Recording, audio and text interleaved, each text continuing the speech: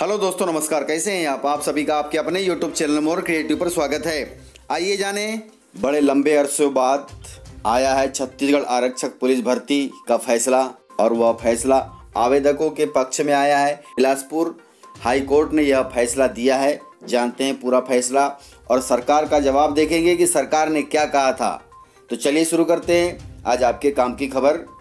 यदि आपको वीडियो पसंद आए तो लाइक ज़रूर करिएगा।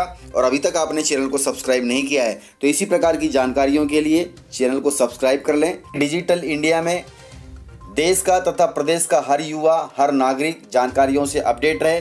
निरस्त नहीं होगी 2018 आरक्षक भर्ती। हाईकोर्ट ने दिए हैं शारीरिक दक्षता परीक्षा लेने के आदेश। इससे पहले नई कांग्रेस सरकार ने दिए थे भर्ती, निरस्त के आदेश, और कांग्रेस ने इसको निरस्त ही कर दिया था। बीजेपी सरकार ने यह भर्ती निकाली थी।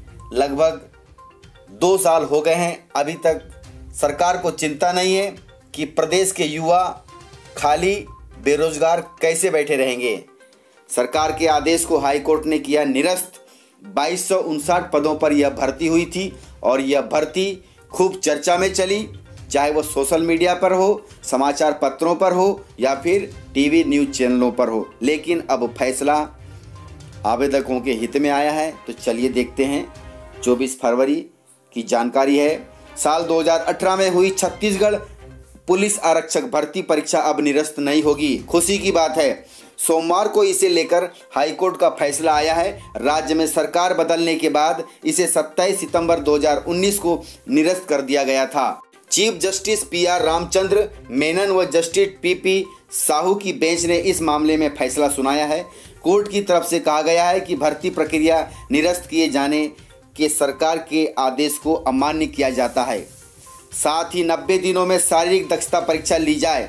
कोर्ट ने सरकार को टाइम भी दे दिया है कि इतने दिनों में आपको यह परीक्षा लेनी होगी। लिखित परीक्षा दे चुके अभ्यर्थी शारीरिक परीक्षा में भाग लेंगे। इसके बाद आए अंकों के आधार पर भर्ती होगी और फिर ज्वाइनिंग होगी। यह भर्ती बाईस पदों के लिए होनी है। जानकारी के मुताबिक पुलिस विभाग ने 29 दिसंबर 2017 को आरक्षक के बाईस जीडी पदों के लिए भर्ती विज्ञापन जारी किया था। इसमें आवेदन जमा करने की तारीख 4 फरवरी 2018 थी।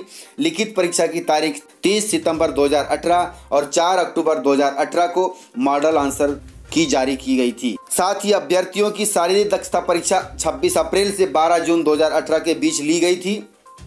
चुनाव के बाद राज्य में नई सरकार बनी और 27 सितंबर 2019 को पुलिस महानिदेशक ने भर्ती प्रक्रिया को सरकार के आदेश के अनुसार निरस्त करने की घोषणा कर दी। मैं आपको एक बार अपडेट कर देता हूँ यह परीक्षा के बारे में, इस भर्ती के बारे में। इससे नाराज़ उम्मीदवारों ने कोर्ट में शरण ली। तब हाईकोर्ट की सिंगल बेंच ने 12 दिसंबर 2019 को पुलिस महानिदेशक के आदेश को यथावत रखते हुए याचिका खारिज कर दिया। बाद में इस आदेश के खिलाफ अभ्यर्थियों ने अधिवक्ता नौसीन अली सहित अन्य के माध्यम से 15 अपील प्रस्तुत किया, जिस पर यह फैसला आया है।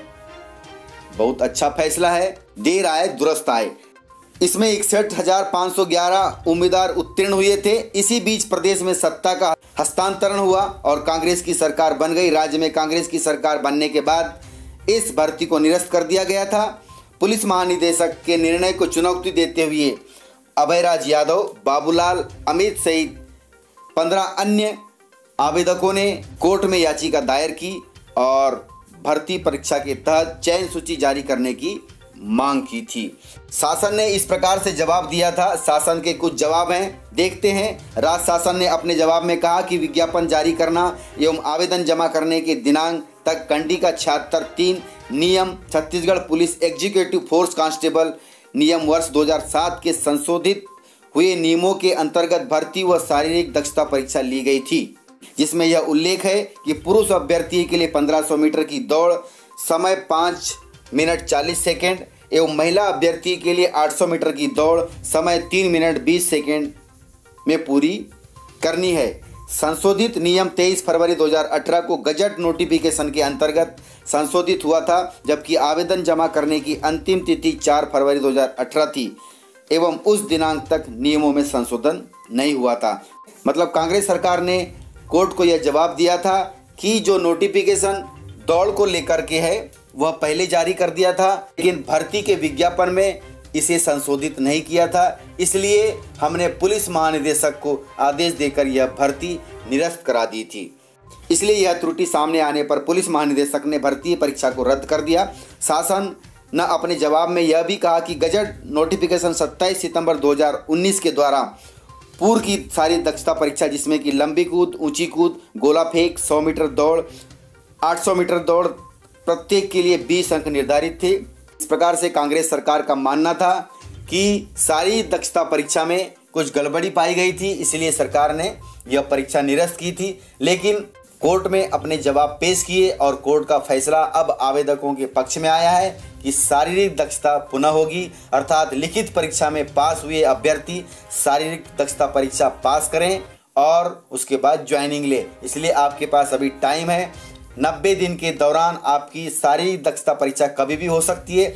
आप पुनः एक बार प्रैक्टिस शुरू कर दें और प्रैक्टिस करने के बाद प्रदेश में पुलिस की सेवा दें। तो इस प्रकार से अपडेट था। यदि आपको जानकारी पसंद आई हो तो वीडियो को लाइक ज़रूर करिएगा और अभी तक आपने चैनल को सब्सक्राइब नहीं किया है तो इसी प्रकार की जानकारियों के लिए चैनल को सब्सक्राइब कर लें तथा नेक्स्ट वीडियो के लिए बेल आइकन पर क्लिक कर दें ताकि अगला वीडियो आपको शीघ्रता से मिले। मिलते हैं सर, अगले इसी प्रकार आपके काम की खबर के साथ। तब तक के लिए जय हिंद, जय भारत।